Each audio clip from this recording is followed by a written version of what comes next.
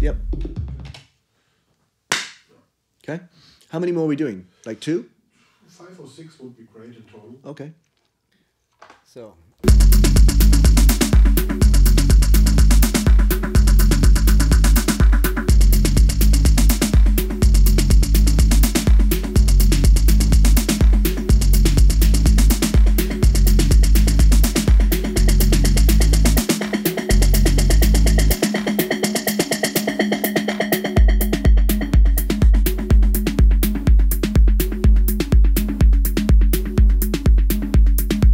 Always loved stripped down tracks that are driven by percussion.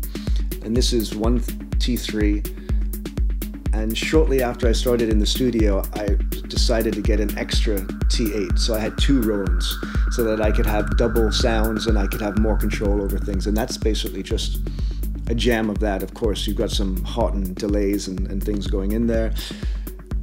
But it's called acrobatics because it's like it's all those drums rolling in and out of a beautiful syncopation like you would see like watching TV at the Olympics and it, you're just like how are they doing all this stuff? And you know you practice all those loops and moves but when you're I can imagine when you're doing that you don't think.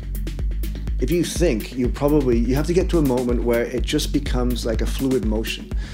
And that is really what that's what ma- making music is about and that's what you hear in that track that's always how i was doing you know those early tracks once you're on a groove and maybe the hi-hats have a good eq or the clap has that now perfect reverb then maybe you make a couple of tracks out of that maybe they all come out or maybe the second or the third track is actually the one that really all gels together and that that happened on, on these, these tracks So.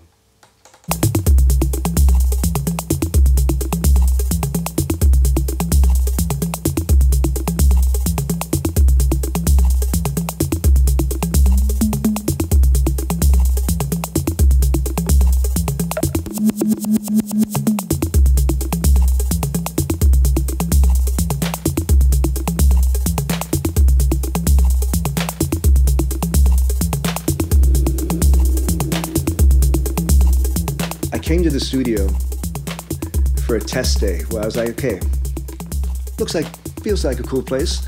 So I showed up with a T8 and plugged it into this board, stereo out, patched in a couple of effects, and started jamming just to see what it would sound like and just to take it home.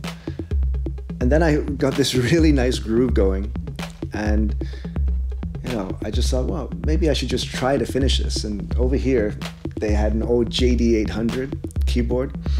And so I quickly went through it, and those strings are so amazing. It reminds me of old Detroit, like Derrick somehow. And also on the, the T8, there's a button called scatter, which makes it go backwards. And that was a really big Detroit thing that we all used to do, back edits. And there's a lot of them throughout the whole thing. So it was really, I, I just put uh, Pro Tools on record. I was jamming with the T8 and playing the strings just live over top. And ended up being pretty fucking cool. So it's called Child's Play, and the track name is Stretching. Because it was like that. It was like I was just having fun with this equipment. I didn't come in here to record a song that day, but it was also like, ah, okay, I can feel this place. I can feel that I, and I hadn't decided to take the studio. And at, after that, I went home and I listened to it. I was like, okay, I'm renting the studio. I'm going for it. The funny thing is, later, you know, I was in here so many. I was like, man, I love the feeling in here, and maybe this is just me being anal, but I called my brother up. I was like, tell me the dimensions of my old studio where I did all my favorite songs. Not the early stuff, consumed and stuff, because I loved that feeling in that room. And the dimension of that room in my building in Windsor is nearly exactly the dimension of this room. That's not hocus pocus, but really, like there's something there. Because it's about sound and frequencies and feeling that, you know, that you're comfortable. And, and, and you know, and I had a couple of studios in Berlin that I set up, and they were all technically perfect and had all the newest equipment and two computers and 96k and blah blah blah. But I never felt comfortable, or I, you know, and all these things are just, you know, it was also I knew it had to be that way. Just get back to basics, have a couple of instruments that you really know, or become get more comfortable with, and and jam. Okay.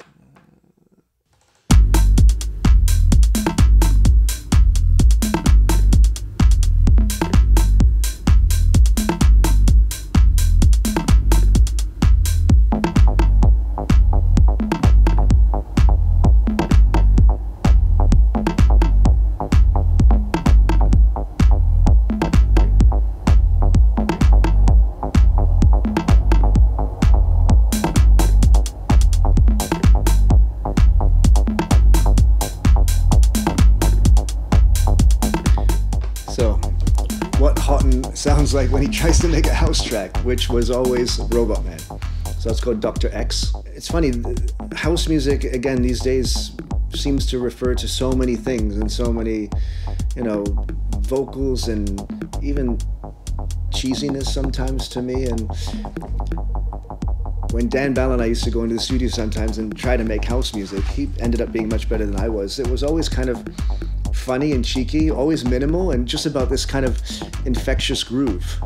Um, and very, very simple. The original track title, and actually, it's probably going to change. It's Dr. X, but it's probably going to be called Simple Simon. Because it is. It's like, it's a 909, you've got the classic hi hats on the offbeat, a clap, and, and a cool groove. Um, and, and that's, go back and listen to Robotman do the do. What was it? It was, it was basically just having fun in the studio. The freedom that I wanted in the studio was just to not worry about doing a big album or caring what people thought and, and not even making music that for sure was going to be released. I was just tracking and tracking and I was actually working on a pretty like hard harder fused acid track before that. And then you know, I got bored with that. I couldn't finish it. I turned the machines off. I turned them back on. It still had the EQing, so it somehow it has a toughness and energy to the bass and, and the kick. It's like really solid. And then it's just kind of light and fluffy over top, and and I think it has a good balance with the rest of the comp. And that's what I also wanted. When it started to come into this idea of plus eight, or from my mind to yours, it, it should have a bit of, of all that. I'm not all like dark Plastikman. And that's a little bit of the, the lighthearted, maybe quirky, nerdy, funny Rich coming out.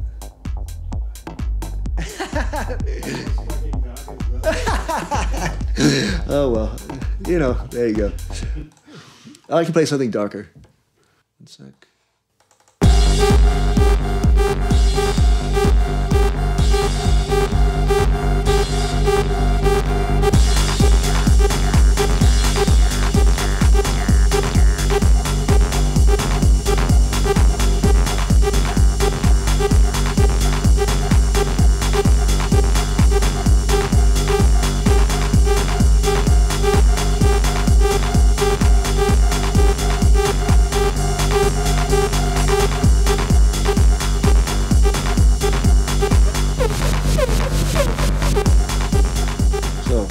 Circuit breaker, systematic.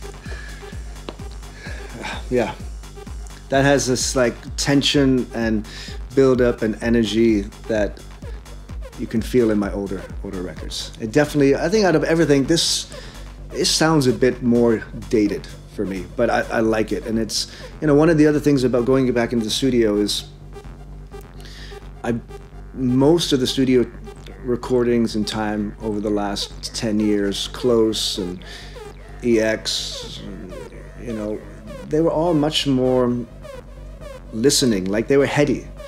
And I, you know, the last time I actually went into the studio to do something really, okay, this is for the dance floor was 1998, which was Minus Orange. And that was exactly for the same reason. I had felt like at that time I had just done uh, consumed, I was like, man, maybe I should do something, I'm a DJ for, for the dance floor. So everything in these sessions, even some are more cerebral than others, they all have a strong kick and they're all supposed to work on the dance floor. And what I find interesting, because I've been playing these out, is now playing my own tracks out again, they have such a weird, different feeling. And then you notice how regulated everything is, and also regulated how what kind of style I'm playing. And all these things take a while to develop. So I'll bring something in, and then I can physically see the people start to shift into a different way of moving and, and, dancing. Sometimes they stop, and then it takes them a while to, to get the rhythm.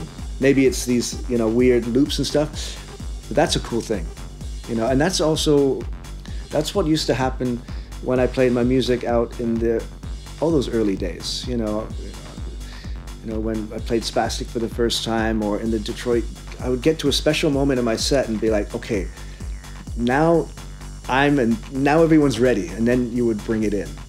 And if you time it at the right moment, it really works. But there's still a lot of tracks here that, you know, they're not peak time, they're not normal. Yeah, they have a kick, but there's something different there. And I think that's part of, of what I do.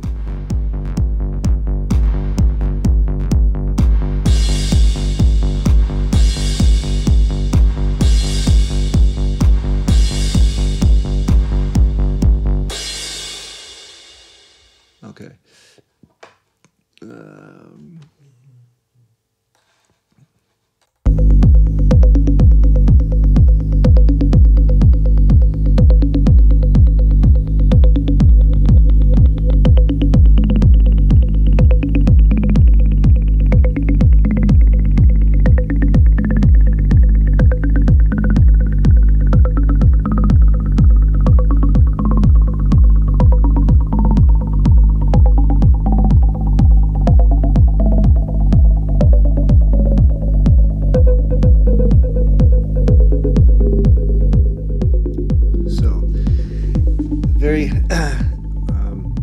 cerebral, heady.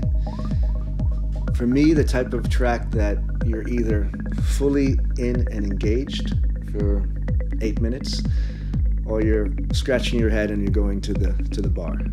You know, in the middle of my set, like four or five hours into it at Time Warp, like on this massive thing, the energy, everything was, and then that came in, and it was just like it was again, it had to set it up right, and then it was like boiling everything back down to basics. A kick, a little hi hat, you know, a little bass line, and trademark Hawtin bongos with delays, and just me working it. And you can feel that. There's no, you know, you paint that on a on a computer screen or or you put an LFO on it, you know, like it's all about timing and, and, and this this magic of, of, of the human that you you, that you feel and hear. I hear that and I feel that in that track. Not everybody probably will, but that's important part of the compilation. The confidence that I have right now of coming out, whatever happens once this music comes out, is that you know, in the world, in the brick wall of electronic music or the whatever, like the, the, the bank vault of electronic music, we all have our own little compartments. And we all have something special in, inside those.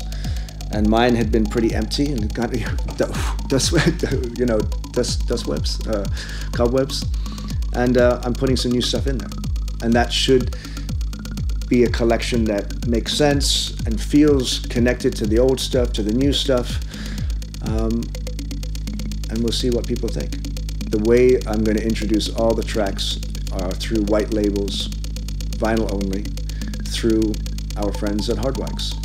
You know, it's also going back to those early days of Plus 8. I wanted to not only feel reconnected to where I'd come from in the studio with new machines and just get back to the simple pleasure of making music, but also get back to the simple pleasure of releasing the music too. And so putting it back on vinyl, hand stamping, you know, a, limited amount, letting my friends at Hardwax who supported me and were the first ones to kind of import some of my early records to Germany makes sense. And that's it's a start. It's a a, a thank you for those times. It's a hats off. It's a return, and then to see where I go next. You know. What I do feel, and I've said it before, I do feel that there will be more music in the next years than there was in the past. Um, because I had, it was just nice to be away from the craziness of the circuit, of all what the scene is, which I partly, you know, part of it I love, but I need that time away. I need my insular, isolated time with my machines to feel and connected to that magic of music.